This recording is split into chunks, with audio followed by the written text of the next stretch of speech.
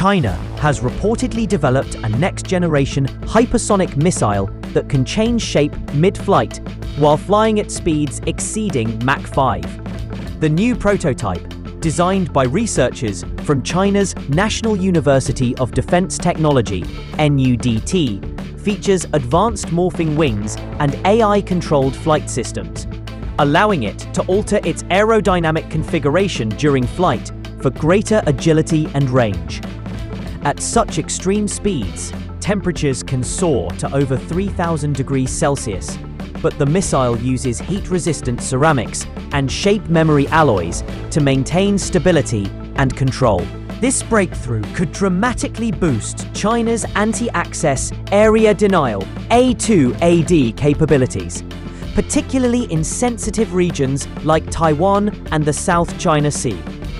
Analysts warn that the missile's unpredictable flight path could overwhelm existing air defense systems used by the US, Japan, and other regional powers. If operational by the late 2020s, this morphing hypersonic weapon may reshape the future balance of power in the Indo-Pacific region. This is Asian Defense and Tech News. Like, share, and subscribe for more.